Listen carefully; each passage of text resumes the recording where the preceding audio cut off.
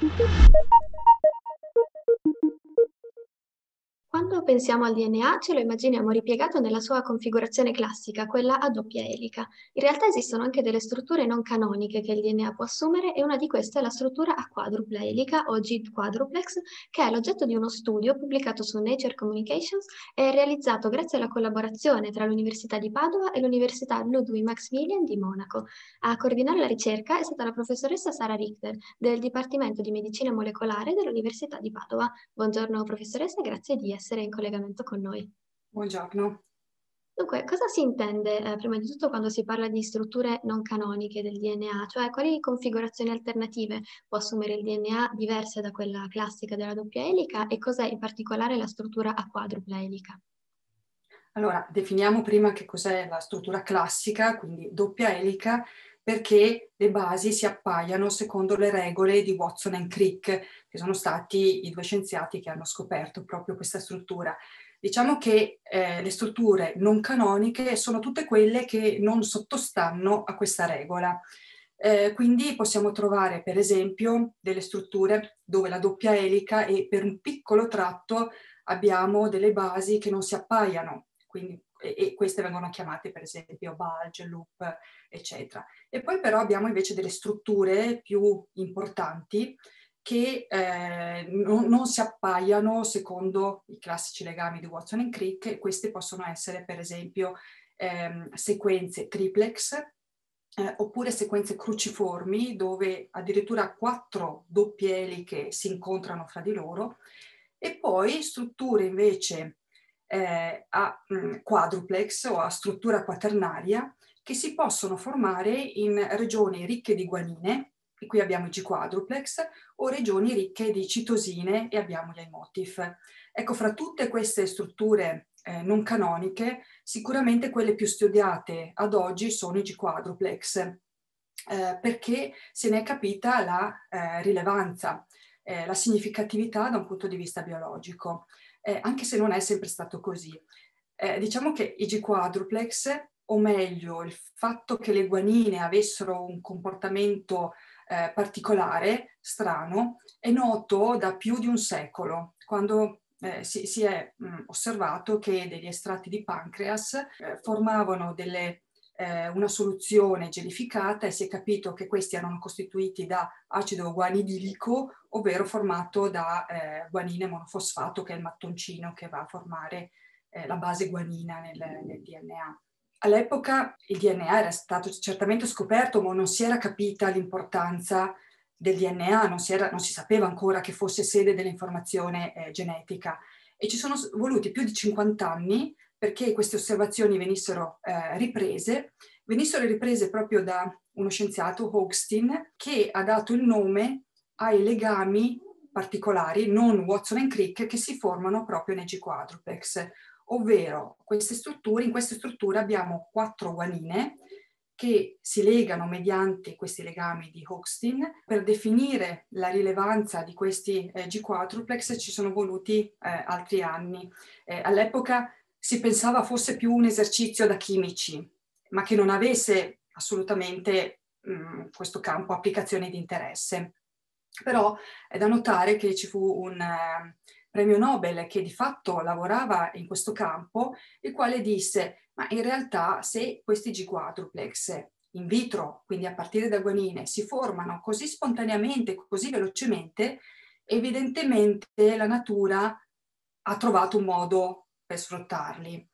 E direi che questo si sta rilevando eh, via via di più essere il caso. Anche una breve digressione, in realtà è stato scoperto che per esempio questi aggregati di guanine formano dei cristalli in una specie particolare di ragno e questo sfrutta questi cristalli di guanine per cambiare il suo colore di occhi.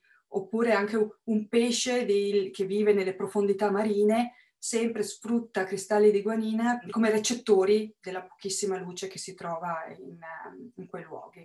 Ecco, ma per tornare ai G-quadruplex e, e, e, la rilevanza di questi, è, nel, negli anni 90 e poi primi 2000 si è visto che delle eh, sequenze che formano il nostro genoma possono eh, ripiegarsi e formare queste strutture. In particolare le sequenze che si trovano alle estremità dei cromosomi, non solo degli esseri umani, ma anche in realtà di tutti gli animali, sia vertebrati che, invertebrati, queste sequenze che vengono chiamate telomeri possono foldarsi e ripiegarsi a G-quadruplex. Da dire che i telomeri sono molto rilevanti perché regolano la vita della cellula, la, l'età della cellula e sono coinvolti anche nella trasformazione tumorale sono disregolati quando si ha una trasformazione tumorale. Quindi si è cominciato a intuire come potesse esserci una rilevanza di queste strutture proprio nel campo dei tumori. Non solo, è stato poi dimostrato come sequenze nei promotori dei cosiddetti oncogeni, allora i promotori sono le sequenze che regolano l'espressione di un gene e gli oncogeni sono i geni che eh, regolano la crescita di una cellula. Normalmente sono geni che devono funzionare, ma quando qualcosa va storto eh, possono essere coinvolti proprio nella trasformazione tumorale. E, e appunto si è visto come i promotori di oncogeni fossero particolarmente ricche di sequenze che potevano infoldarsi a G-quadruplex. Ancora le osservazioni erano a livello però in vitro, ovvero queste sequenze prese le, le, piccole sequenze in vitro nel tubetto si vedeva che foldavano a G-quadruplex, però ancora c'era tantissimo scetticismo nel, nel, in questo campo. Io stessa, che all'epoca avevo già cominciato nei primi anni 2000 e, e, poi anche in seguito, avevo cominciato a lavorare in questo campo, mi sono scontrata con lo scetticismo eh, da parte del, degli scienziati. Eh, però nel frattempo eh, si sono cominciate a individuare proteine che, cellulari, proteine della cellula, che possono legare in modo selettivo queste sequenze, e queste non sequenze ma strutture. E quindi se esistono queste proteine si è detto, beh, allora probabilmente i G-quadruplex effettivamente sono presenti nella cellula.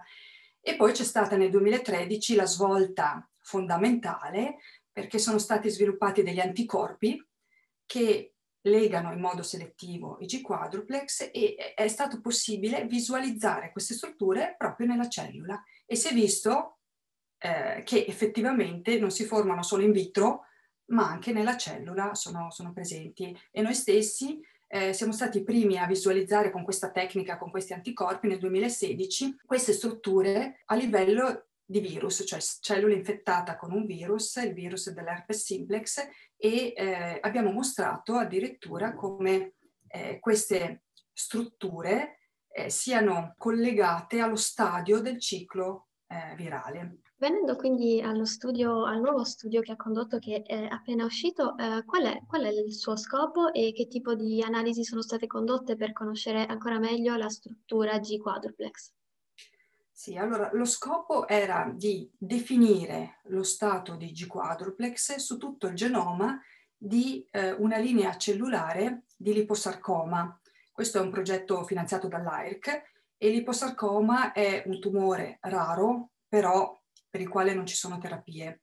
Deriva da cellule adipose e quindi volevamo proprio definire il, lo stato di, di G-quadruplex e in più paragonarlo a quello di un'altra linea cellulare, cellule di pelle, quindi cheratinociti, per vedere se ci fosse una differenza e dove. Su, ovviamente sullo stato dei G-quadruplex, perché il corredo genetico di cellule che hanno diversa funzionalità è lo stesso, ma è l'espressione eh, dei geni che fa eh, variare l'identità della cellula. Volevamo capire se G-quadruplex avessero qualcosa a che fare con queste eh, differenze. E per fare questo abbiamo utilizzato varie tecniche di sequencing, quindi di studio genome-wide, cioè su tutto il genoma. In particolare la tecnica del chip sequencing, cioè chromatin immunoprecipitation, usando un anticorpo, l'anticorpo specifico per il G-quadruplex, e poi altre tecniche di sequencing, per esempio per andare a valutare lo stato della cromatina, che può essere più o meno rilassata, e poi per vedere l'associazione con l'espressione genica, quindi RNA sequencing. Quali sono stati i risultati più interessanti o, o inattesi di, di, questa ricerca? Cioè quali nuove conoscenze hanno permesso di acquisire sulla, su questa struttura G-quadruplex? Beh, credo che abbiamo trovato dei risultati molto interessanti. Eh, in primo luogo abbiamo definito che tutte le strutture G quadruplex, ecco, voglio fare un appunto qui perché ci, nella, nella cellula ci sono tantissime sequenze che possono in teoria foldarsi, ripiegarsi a G quadruplex, ovvero hanno quella quantità di guanine necessarie perché si possa formare questa struttura. Ma noi abbiamo valutato proprio quali di queste sequenze fossero effettivamente ripiegate nella cellula nel, nel momento in cui abbiamo fatto l'analisi. Abbiamo dimostrato che le strutture G quadruplex sono presenti nella stragrande maggioranza a livello di promotori di geni, quindi uno. Anche se è da dire che non tutti i geni dei promotori hanno la possibilità di formare G quadruplex. E poi la cosa uh, estremamente importante è che abbiamo dimostrato che lo stesso gene con lo stesso promotore, quindi l'identica potenzialità di, folda- di ripiegarsi a G quadruplex, in una linea cellulare, per esempio l'iposarcoma, era ripiegato e nell'altra no. E cosa ancora più importante è che il ripiegamento a G quadruplex era invariabilmente associato all'espressione genica. Quindi i G quadruplex effettivamente determinano l'identità della cellula e in qualche modo stimolano l'espressione genica. Ora, ho detto in qualche modo, in realtà abbiamo fatto degli studi in più, perché in realtà si sa che ci sono delle proteine chiamate fattori di trascrizione che legano del, delle sequenze a livello promotoriale e stimolano l'espressione dei geni. Ecco, noi abbiamo dimostrato che questi fattori di trascrizione in realtà riconoscono le strutture G quadruplex alcuni fattori di trascrizione addirittura legano queste strutture eh, G quadruplex e quindi evidentemente questi sono degli stimoli per attirare i fattori di trascrizione e quindi ehm, dare l'avvio all'espressione genica e quindi di fatto all'identità della cellula. Devo dire che questo è stato un risultato inaspettato perché fino ad oggi si, si riteneva, e noi stessi ritenevamo questo, che eh, queste strutture in realtà facessero l'esatto opposto, cioè inibissero l'espressione genica, perché in vitro succede questo, però in vitro abbiamo il promotore, il gene, il, l'enzima che, che, che dà l'avvio alla trascrizione, ma non abbiamo per esempio la cromatina, non abbiamo tutte le altre proteine che invece sono presenti nella cellula.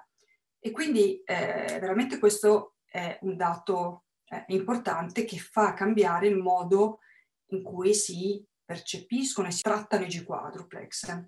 Quindi quali sono le potenziali applicazioni di questo vostro lavoro in ambito clinico e quali poi i possibili sviluppi futuri per, per la ricerca?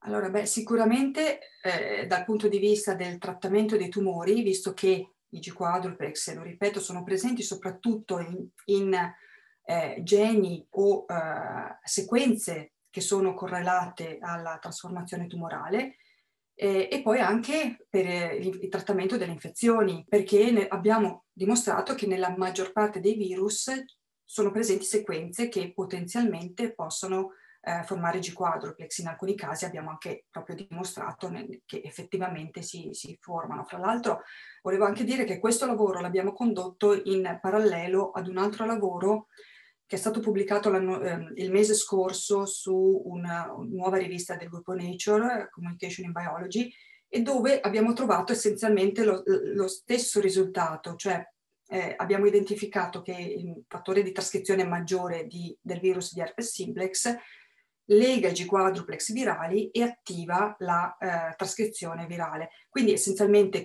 due tecniche completamente diverse, due eh, organismi diversi, in un caso eh, le cellule umane, nell'altro caso un virus, abbiamo trovato essenzialmente lo stesso eh, risultato. Questo stimo- sicuramente stimolerà l'uso dei G quadruplex come target di terapia sia antitumorale che antinfettiva. Devo dire che in realtà sono già state sviluppate molecole che cercano di legare in modo selettivo i G quadruplex perché prima anche se si pensava che i G quadruplex inibissero l'espressione dei geni, si diceva, bene, uso un composto che stabilizza queste strutture, quindi ulteriormente vado ad amplificare l'attività naturale dei G quadruplex. Adesso si, si sa che invece l'attività dei G-quadruplex è contrario, però comunque se vado a stabilizzare, anzi di, dirò, avrò un effetto anche maggiore. Invece di espressione, invece avrò eh, blocco. Quindi l'aver compreso l'attività di queste strutture a livello cellulare sicuramente ha permesso di compiere un passo avanti eh, nella comprensione dei meccanismi molecolari della cellula e sicuramente anche quindi nella possibilità di andare a sviluppare dei trattamenti specifici che utilizzino questi meccanismi in modo più eh, puntuale, appropriato.